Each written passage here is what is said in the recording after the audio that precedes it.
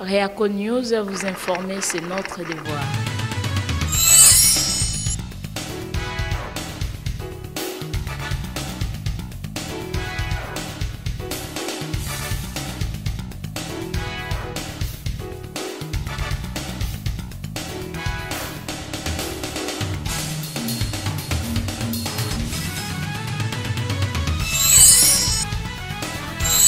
Réaco News, la chaîne qui vous informe à temps réel. La voix de Tatiana lutte contre euh, l'inversion de valeur, l'intelligence au service euh, de la nation. Na Pesibino Mbote Bandeko Balandi Yareako News. Bienvenue na émission na biso ya mokolo ya. Na yebi que bozali baiki ya kolanda biso, bozali vraiment ebele kasi message moko ya kolancer parce que depuis mokolo ya lobi loleki tokoyoka mbela bato bayiki bakobenganga maman tatiana to apprendre que maman mbiliabel akufi donc nani nde akolinga koboma maman mbiliabel nani nde akotambwisa sango wana ya mabe? Congolais tolingana maman mbiliabel maman tatiana a informé bino que akufi te selon euh, proche na ye moko oyo tobengaki to aconfirme biso ke maman biliabel azali na bomoi mpe azali na problème te. Yango nde mbela oyo esengelaki te topesa bino congolais tolingana biso na biso maman biliabel azali maman oyo abinisa mpe akobaka kobinisa. Donc tozali biso na biso makila moko tokoluka kobomana na bafake news mpo na nini. Soki nungunungu eyali soki likambo eyali toyebaka mingi kobongisa yango entre nous na esika ya koya mpo te tobimisa bandeko na biso nyonso na mambima ye mazali kolongobana te toye na etando eke accuse maman biliabel de tout sauf rien. Non non non non non totika maman biliabel kimia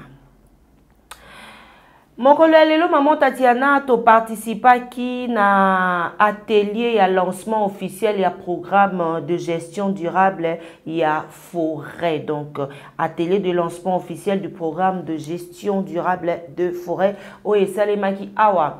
Na kinshasa mokolo ya lelo le 5 décembre 2022 bandeko balandi ya reyako esalemaki wapi? Na ministère ya environnement mpe ya développement durable cabinet ya ministre donc vice ministre ya environnement maman eve bazaiba basalaki biso reyako honneur te tozala wana mpo te tolakisa bino mambi mayema alobamaki na programme yango balobi te programme yango eye mpo te eya korépondre na baproblème oyo ya bonne gouvernance korenforcer bacapacité lutte contre likambo ya exploitation illégale. C'est aussi eloko moko vraiment na kotika bino mai moto na moto alanda yango et on se retrouve juste après mesdames et messieurs. Suivez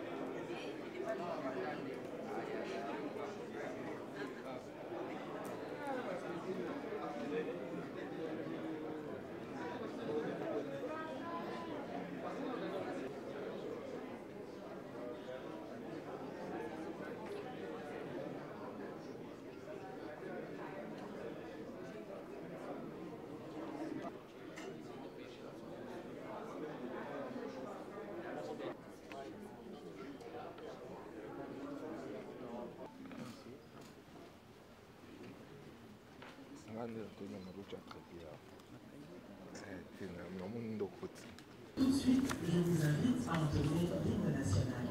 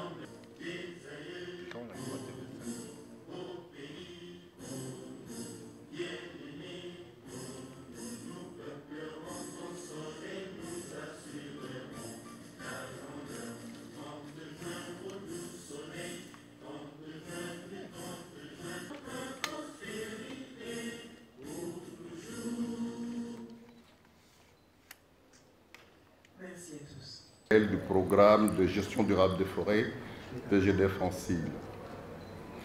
De prime abord, nous voudrons remercier sincèrement Madame la vice-première ministre, ministre de l'Environnement et du Développement durable, pour son engagement personnel et pour l'appui accordé à la conduite de ce long et difficile processus d'élever des conditions suspensives au démarrage de ce programme.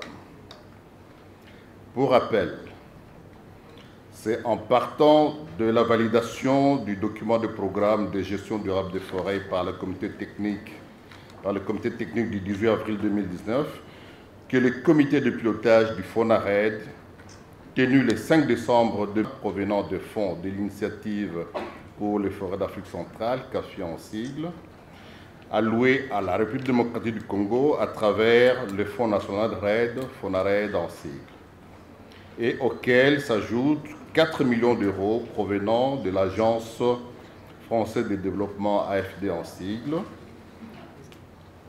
Permettez-nous de rappeler également la signature conventionnelle de financement qui est intervenue le 4 juillet 2020 et qui a permis le démarrage d'un long processus de levée des conditions suspensives évoquées si haut, dont l'aboutissement se matérialise ce jour par la présente cérémonie de lancement du programme. Ce programme vient non seulement appuyer le ministère de l'Environnement et du Développement durable à réaliser les jalons forêts de la lettre d'intention signée avec CAFI, mais répond d'abord et avant tout à une préoccupation nationale importante, celle de la bonne gouvernance forestière pour assurer pleinement cette stratégique du pays solution. Les contextes politiques également, la parafiscalité et la compétition du secteur informel permettront par une contribution significative du secteur formel du bois à l'économie nationale. Et c'est dire que le programme revêt toute son importance et les attentes des différentes parties prenantes à la gouvernance forestière dans la mise en œuvre de ce programme sont grandes.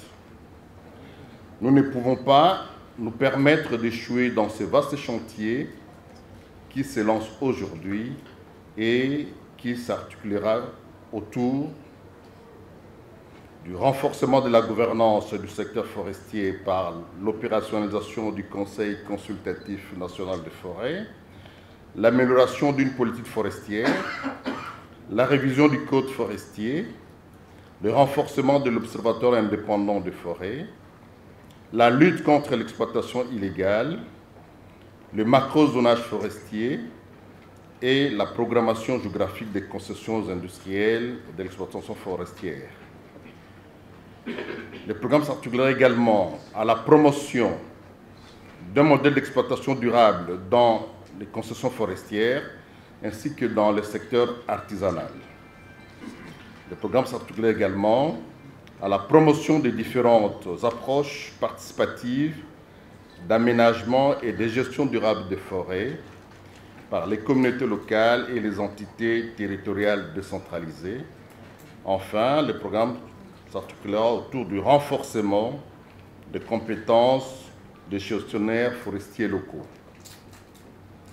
Excellence Madame la Vice-Première ministre, ministre de l'Environnement et du Développement durable, Excellences Messieurs les ambassadeurs, Mesdames et Messieurs les représentants de partenaires, distingués invités, Mesdames et Messieurs, au regard des grandes attentes de ce programme, nous sollicitons de tous un accompagnement rapproché pour donner corps à un processus largement participatif. Et pour ce faire, le programme devra donc développer très rapidement un dispositif de communication qui implique à chaque étape et qui informe au plus vite toutes les parties prenantes des avancées enregistrées dans la mise en œuvre, et des difficultés et obstacles qui requièrent une action collective. Il est indispensable de rappeler que dans ce vaste chantier, le programme joue plutôt un rôle catalyseur. mais que le ministère de l'Environnement et du Développement durable, au travers de ses services techniques compétents, porte entièrement toutes les activités qui contribuent à la création des conditions d'une gestion durable des forêts. Nous appelons donc tous les acteurs à internaliser cette réalité et de les traduire dans les faits et gestes au quotidien pour que le programme soit mis en œuvre effectivement. Ce programme très attendu démarre tard, certes, mais nous sommes tous d'avis que mieux vaut faire tard que de faire dans la précipitation et de mal faire.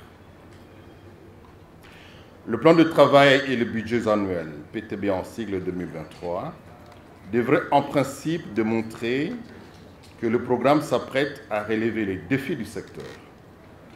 Nous attendons donc, dans un délai très court, l'organisation du premier comité de pilotage du programme avec un plan de travail et un budget annuel qui dévoilera les grandes avancées attendues. Excellence Madame, la le vice-premier ministre, ministre de l'Environnement et du Développement durable, Excellence Messieurs les ambassadeurs des pays bailleurs de CAFI, Mesdames et Messieurs les représentants des partenaires, distingués invités, Mesdames et Messieurs, ainsi au nom du secrétariat exécutif du Fonds national RAID, nous exhortons tous les acteurs et toutes les parties prenantes à être à la fois ouvriers et sentinelles de ces vastes chantiers qui s'élancent aujourd'hui. Nous vous remercions pour votre aimable attention. Mesdames et messieurs les représentants des collectivités provinciales, de la société civile, chers collègues, mesdames et messieurs, je suis très heureux de me trouver parmi vous aujourd'hui. C'est un, événement important de nous tous avec la RDC. Un enjeu global considérable qui est celui du climat et de la, et de la biodiversité. C'est un moment où nous allons présenter les, il sera question des impacts majeurs attendus du programme. ces impacts seront présentés aux, parties prenantes.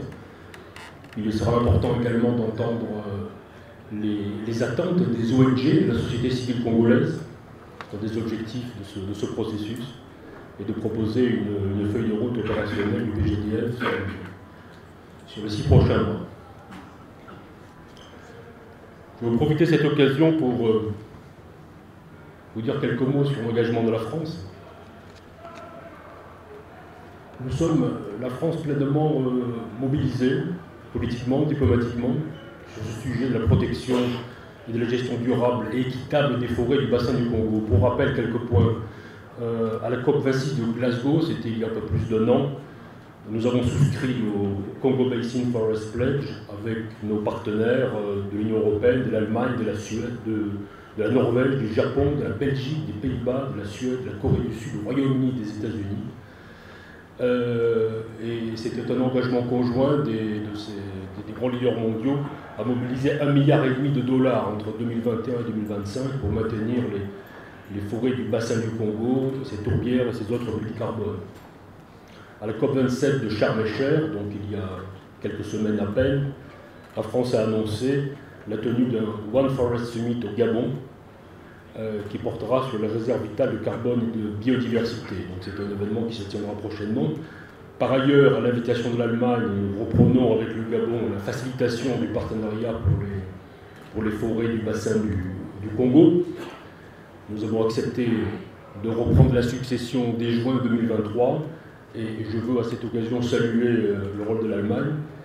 Euh, parmi ses acquis, hein, je rappelle la déclaration des pays de la COMIFAC à, Berlin en septembre 2021 en faveur d'un équitable, d'un fait à deal pour le financement de leur forêt. Et l'obtention également, en lien avec le Royaume-Uni, d'un engagement financier d'un milliard et demi de dollars de, de finances climat de la part de 12 bailleurs. Voilà, donc dans la continuité de la facilitation allemande, nous entendons soutenir, euh, Madame la vice-première ministre, la visibilité et l'importance des forêts du bassin du Congo. Euh, et ces engagements, ces contributions sont la perspective qui est ouverte pour les, prochaines COP, les COP 28 et COP, et COP 29. Alors, comme cela a été dit, c'est l'AFD, qui est l'Agence française de développement, qui est notre opérateur, qui met en œuvre deux projets, deux projets ici sur Pont-Cafi. Hein. Euh, une délégation de 12 millions, 12 millions de, dollars octroyés en 2017 sur le programme de gestion durable de la forêt, et l'AFD cofinance à hauteur de 4 millions. Et une seconde de 15 millions euh, de dollars en 2019 sur le programme d'appui à la mise en valeur durable des zones de savane et de forêts, et de dégradées. De manière plus large, tout ça rentre dans un cadre plus ambitieux de notre part. Euh, la France a vraiment décidé, via son opérateur, l'Agence française de développement, de ne, proposer que des projets compatibles avec les accords de Paris. Et l'AFD donc se positionne à la pointe des sujets climat. Simplement pour rappel, le chiffre de 2023, c'est 5,3 milliards euh, d'euros d'engagement climat qui ont été octroyés par l'Agence française de développement, donc près d'un tiers pour, euh, pour l'Afrique, ça c'est pour le climat. Et sur, le, sur la biodiversité, l'AFD a pour objectif de porter ses financements en biodiversité à 1 milliard d'euros par an d'ici 2025 et d'adosser donc 30% de sa finance climat à des opérations génératrices de bénéfices en termes de, biodiversité. Voilà, c'était ce rappel pour vous, vous donner euh, la mesure et l'importance de notre, engagement, de notre volonté euh, à vos côtés, mais surtout, euh, Madame la Vice-Première ministre, je voudrais féliciter la, RDC et vous-même personnellement pour l'implication du pays sur la scène internationale sur le, sur le climat vous prenez une part active dans les initiatives qui sont soutenues par la France, par l'Europe, par euh, vos grands partenaires internationaux. Pour rappel, hein, le One Planet Summit, One Forest Summit, prévu, en mars 2023 à Libreville, que j'ai déjà évoqué, la COP27 qui vient de se dérouler, l'Alliance pour la préservation des forêts tropicales et humides. Je peux également, on doit également féliciter euh, la RDC pour la signature de la seconde lettre d'intention signée avec le, avec le CAFI à l'occasion de la COP26. Et, enfin, euh, le fait que la RDC euh, a la volonté euh, clairement exprimée de, de devenir et d'être en quelque sorte un pays solution dans la lutte contre le changement climatique, ce qui vous place au cœur de la mobilisation internationale. Voilà, Madame la Vice-Première ministre, ce que je souhaitais dire à, votre attention, à l'attention de tous. Euh, je forme les vœux que le processus qui se devant, devant nous, ce processus de travail, soit couronné de succès, car euh, le chantier est immense, les attentes sont, sont grandes. Je vous remercie. Et j'aimerais exprimer ma joie de voir que nous lançons aujourd'hui le programme de gestion durable des forêts, le PGDF. Ce programme fait un pas très important pour l'implémentation de la deuxième lettre d'intention RDC CAFI du 2021.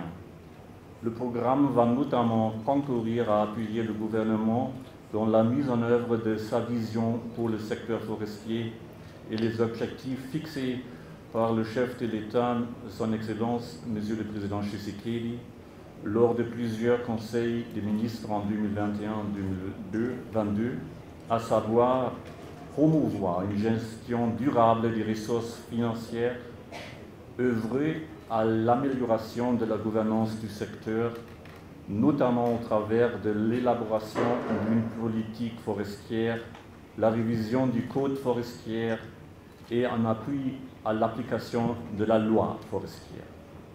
Mesdames et messieurs, le partenariat RDC-CAFI et la lettre d'intention signée en 2021 euh, sont euh, une entreprise ambitieuse avec beaucoup d'aspects.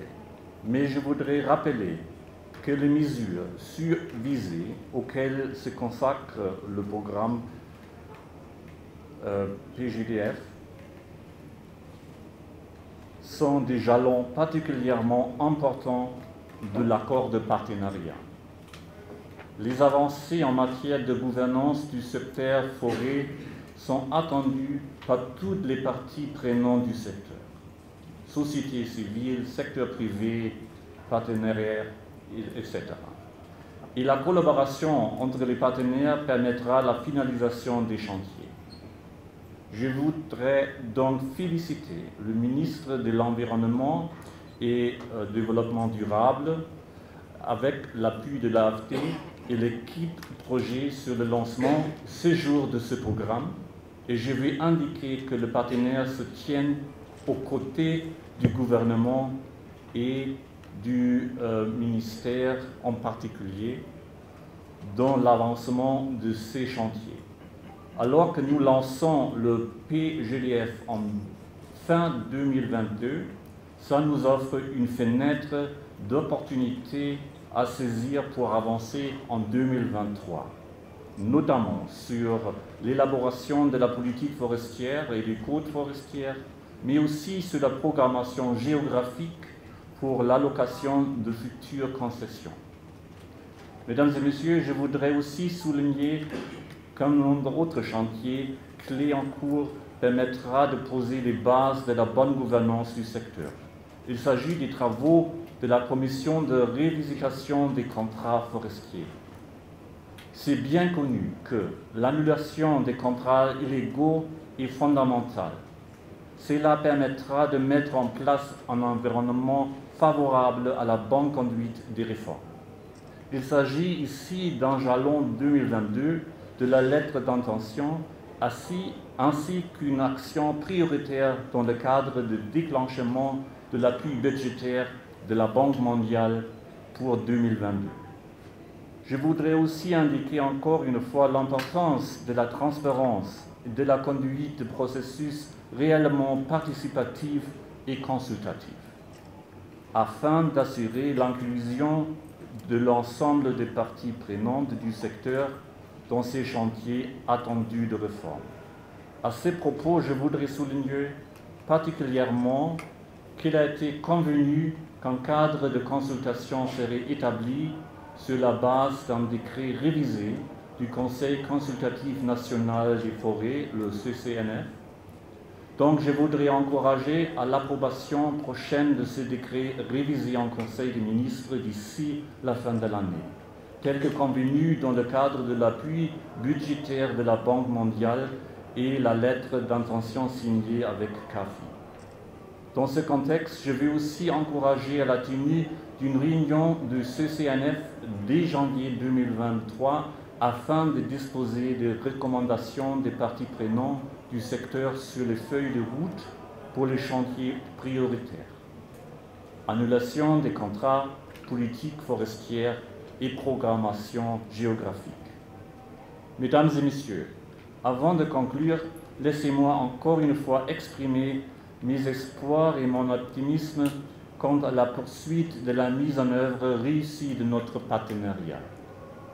Travailler ensemble pour les forêts congolaises en tant que patrimoine naturel de la RDC, mais aussi en tant qu'un bien public mondial, est une tâche de taille, mais aussi une tâche qui vaut la peine. Nous, en tant que membres de CAFI, sommes heureux et fiers de notre partenariat, avec la RDC et avec vous personnellement, Madame le vice-premier ministre. Je voudrais souhaiter à tous les parties prenantes courage et succès dans la réalisation des objectifs que le PGDF s'est fixé. Je vous remercie de votre attention. Merci beaucoup. Excellences, Messieurs les ambassadeurs, membres de CAFI, Monsieur le secrétaire général à l'environnement et développement durable, Monsieur le directeur chef des services ici, technique au développement, Mesdames et Messieurs les représentants de la société civile et des organisations professionnelles de la filière forêt-bois, Mesdames et Messieurs, à vos titres et qualités respectifs, distingués invités, c'est un grand honneur pour moi de prendre la parole devant vous à l'occasion du lancement officiel du programme de gestion durable des forêts, PGDF en sigle, et qui coïncide heureusement avec la journée du 5 décembre, journée nationale de l'arbre. À cette occasion, ceux qui le pourront, après ici, pourraient me suivre sur terrain encelé pour aller concrétiser notre engagement dans le cadre des plantations d'un milliard d'arbres d'ici 2023 pour aller planter les arbres. Permettez-moi avant tout de vous remercier pour nous avoir fait honneur en répondant promptement à notre invitation. Votre présence nombreuse à la cérémonie d'aujourd'hui prouve à suffisance l'intérêt que vous accordez à notre pays, la République démocratique du Congo, et particulièrement aux problèmes environnementaux qui secouent l'humanité tout entière. Mesdames et messieurs, distingués invités, avant d'entrer dans le vif du sujet, je voudrais circonscrire les contextes qui justifient la conception de ce programme. Le programme PGDF, ensemble de méthodes de gestion, vise à maintenir la diversité biologique des ressources forestières, leur productivité, leur faculté de régénération, leur vitalité, leur capacité à satisfaire de manière pérenne, donc durable, les fonctions économiques, écologiques et sociales pertinentes sans causer des préjudices à d'autres écosystèmes.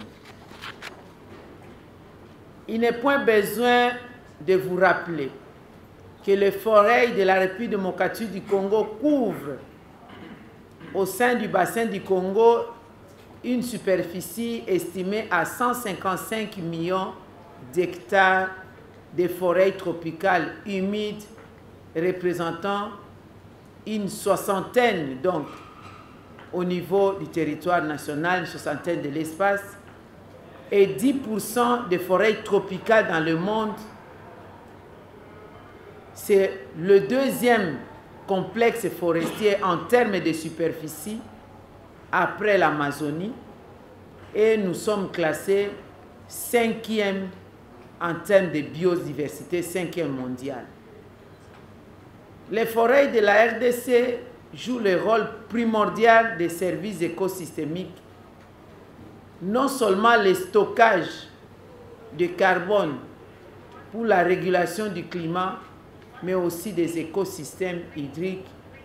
Grâce à ces forêts que nous avons des gouttes de pluie dans toute la partie est de l'Afrique.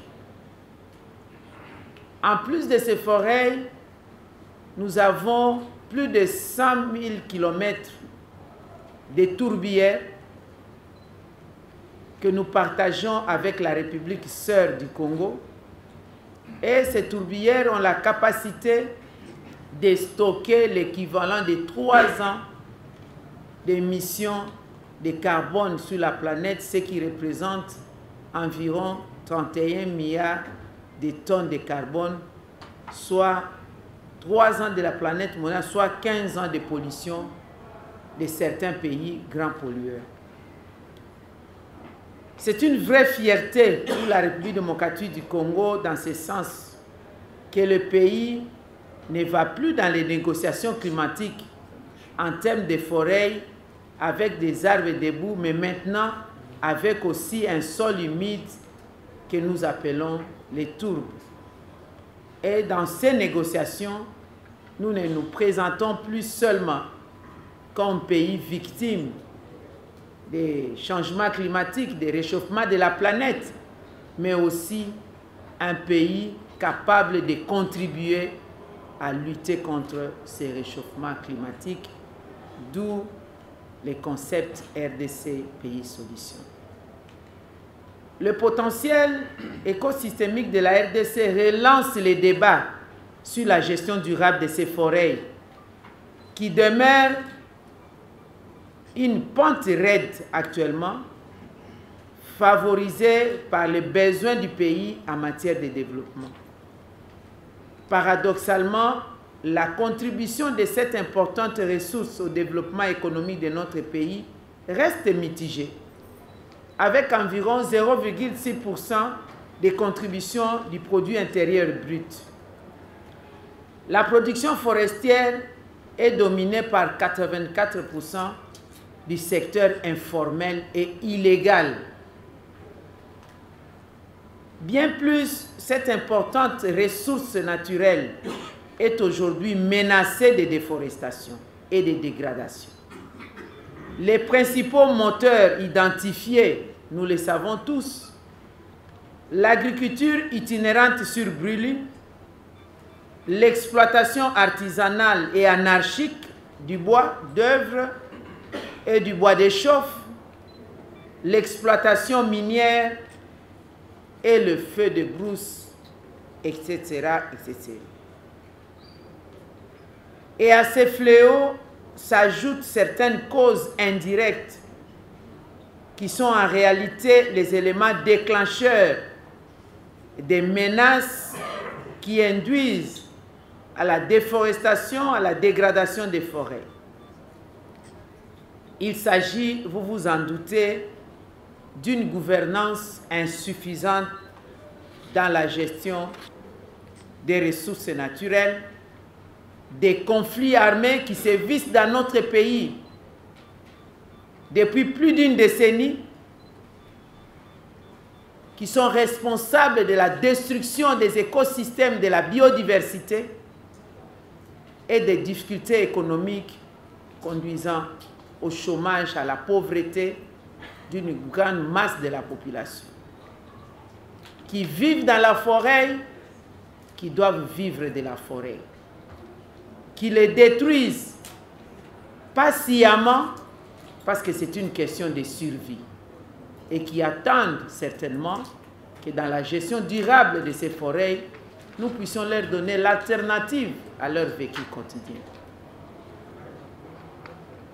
Le gouvernement de la République, soucieux d'éradiquer ces menaces en vue de permettre au biome forestier de fournir sans faille les services environnementaux déjà mentionnés si haut et qui sont indispensables pour notre pays et l'humanité tout entière, le programme de gestion durable des forêts, PDG, PDGF en sigle, a été conçu avec les partenaires pour jouer le rôle d'appui au ministère de l'Environnement et du Développement durable, d'une part, et de mettre en place des outils de gestion, d'autre part, en vue de renforcer les capacités institutionnelles et de toutes les autres parties prenantes, avec pour finalité d'aboutir à la stabilisation du couvert forestier lequel constitue un élément très important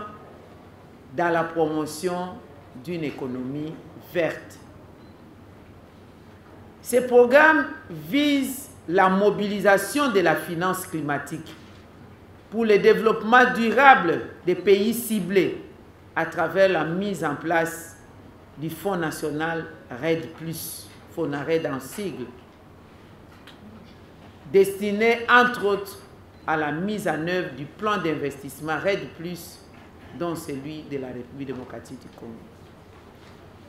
Mesdames et messieurs, distingués invités, eu égard de ce qui précède, le programme de gestion durable des forêts se présente aujourd'hui comme un outil d'amélioration de la gouvernance de la gestion forestière.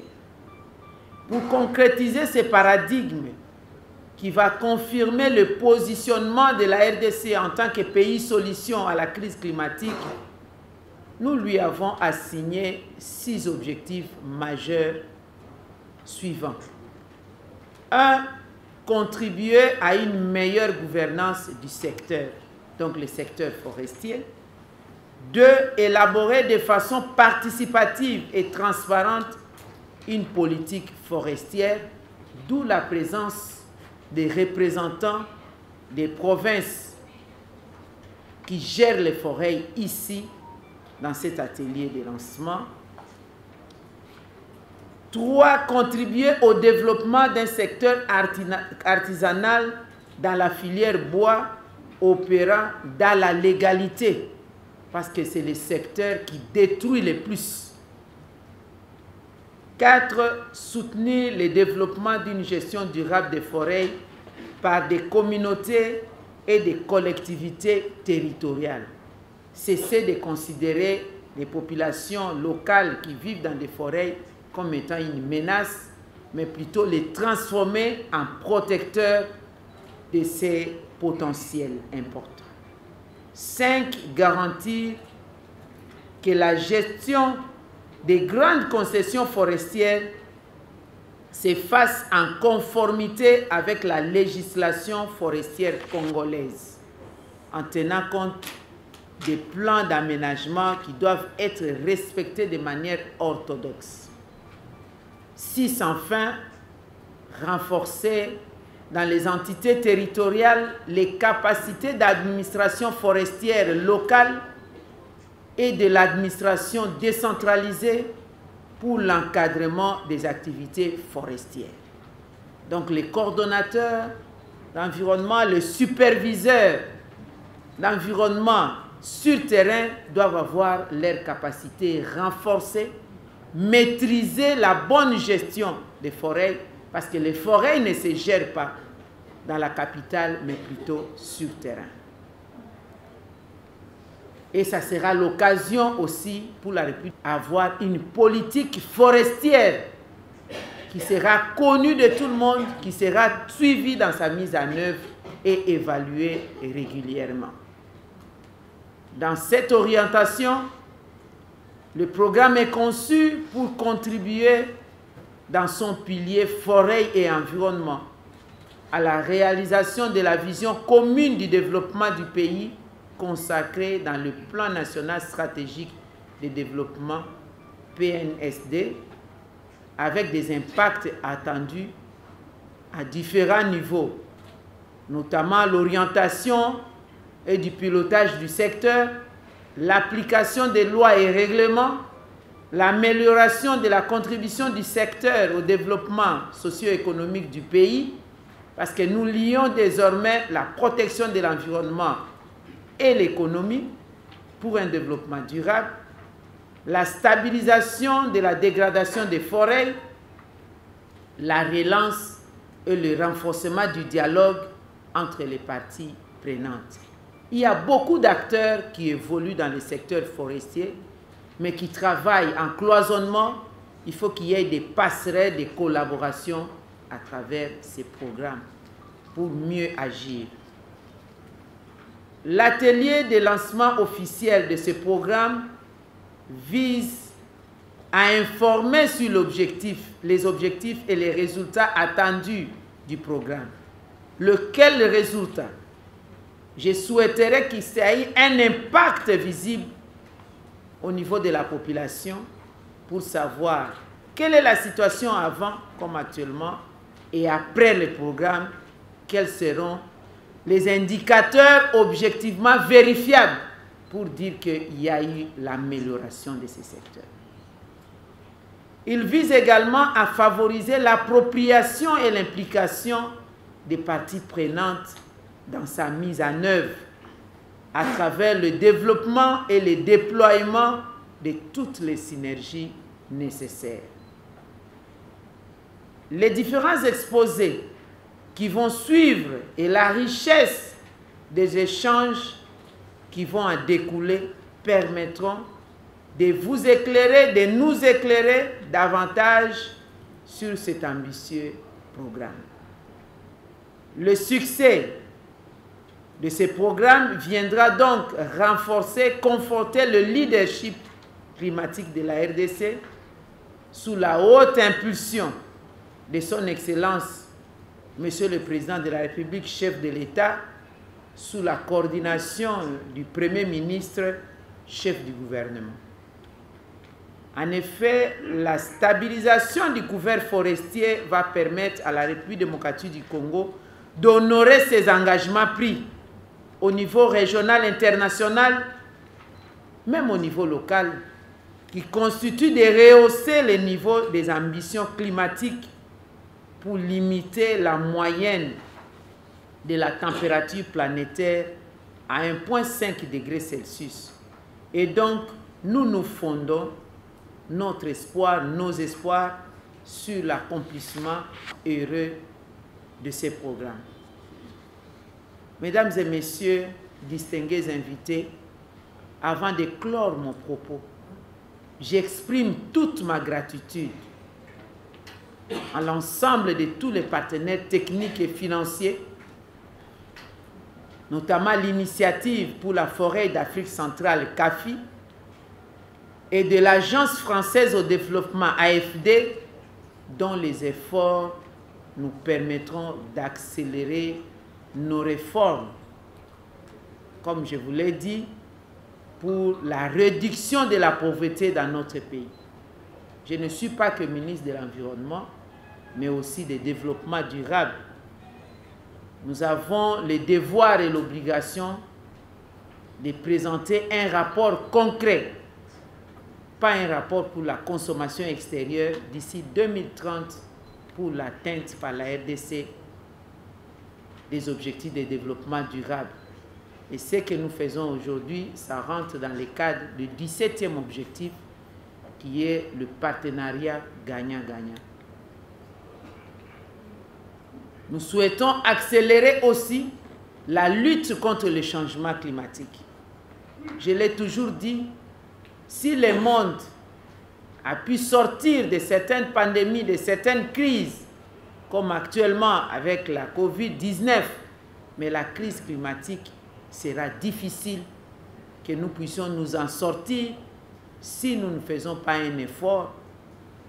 La responsabilité, quoi qu'elle soit, collective et différenciée, mais nous devons agir, ne plus attendre. Ce programme nous permettra aussi d'accélérer les réformes sur la protection, la gestion durable et la valorisation de nos ressources forestières. C'est pourquoi j'ai dit tantôt que nous allons, à travers de ces programmes, mettre en place notre politique forestière. En vous invitant à des échanges fructueux, constructifs, ouverts, afin de mieux orienter une mise en œuvre réussie de cet important programme pour notre pays, au nom du gouvernement de la République, je déclare ouvert l'atelier de lancement officiel du programme de gestion durable des forêts. Vive la République démocratique du Congo, vive la coopération internationale. Je vous remercie.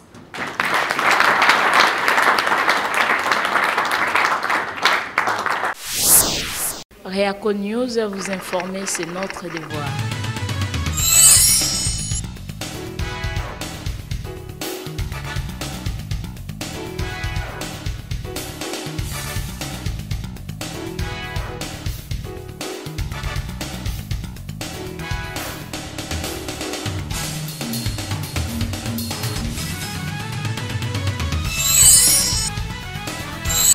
La chaîne qui vous informe à temps réel.